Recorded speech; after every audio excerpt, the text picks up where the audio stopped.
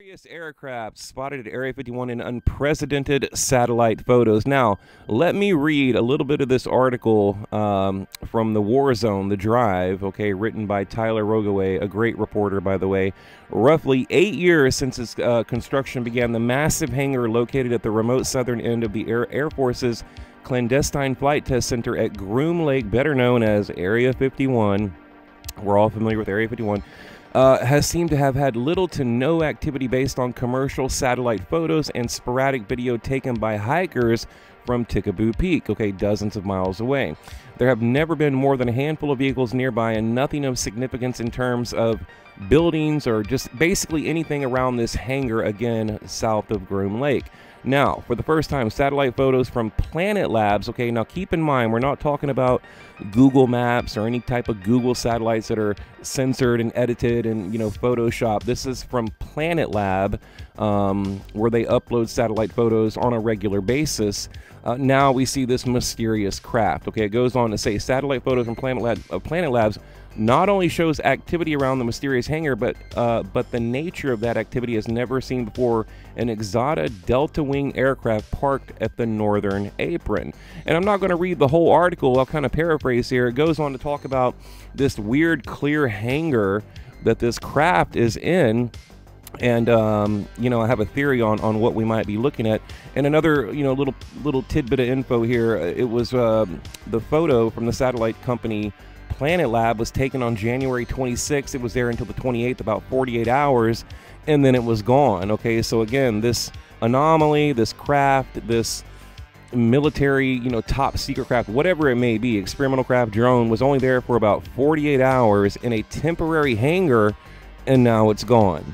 Okay, so let's have a look at the photos, and I'll kind of give you my opinion as to what I think we're looking at here.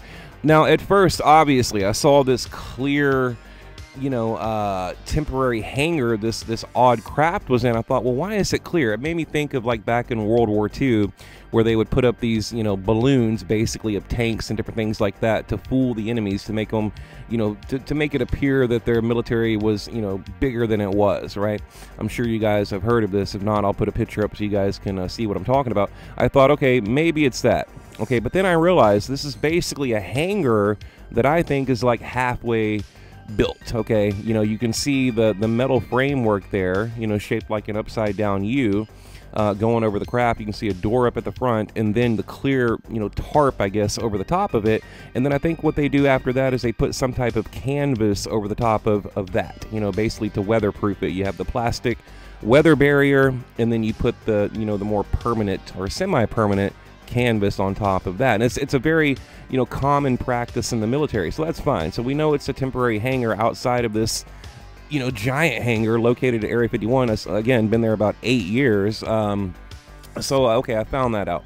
Another little tidbit of info here that I think is important to pass on to you guys. Uh, you know, I've discovered that Area 51 or the employees there, they know when these uh, satellites are, are going to pass by, right?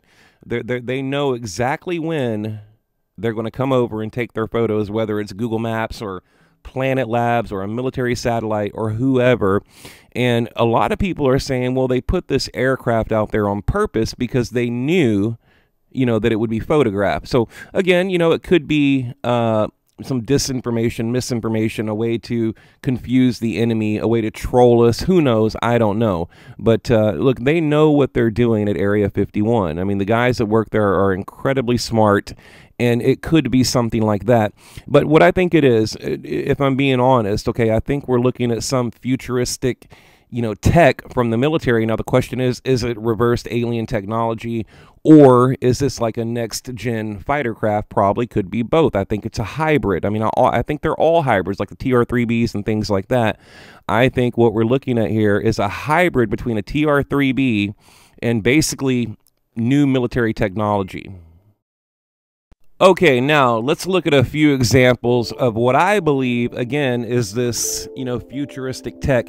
You know, it could be related to the USS Nimitz, the Tic Tac craft. Um, right here, we're looking at Area 51. Um, you see these weird I don't know, UFOs come into frame, like always, okay? They come up, kind of make a U turn, and, uh, you know, go back in, in, the, in the direction they came from. Now, in the middle of that, we have this weird craft kind of hovering above. Now, I want to say that's right above Groom Lake, if I have my facts right. But regardless, this is Area 51 we're looking at right now. Now, the video here I think is sped up a little bit okay so again I'm always honest with you guys I don't want to oversell anything I don't want to manipulate video or anything like that um, it could be sped up a little bit, I don't know. But regardless, whether it's sped up or slowed down doesn't matter.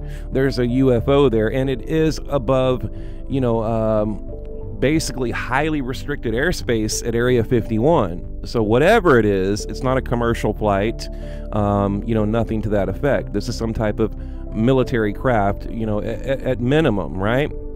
Uh, and whatever the hell this giant UFO is in the middle, I have absolutely no idea. Okay. And I think it's fascinating how we can see these things like only through night vision, right? Not with the naked eye. So we'll continue right here. Now, this is not a SpaceX rocket. When I first saw this, I thought, well, maybe, you know, it could be the Falcon 9, you know, going up to lower, low Earth orbit, possibly. But then I did a side by side comparison, and you can clearly see it's not a SpaceX rocket.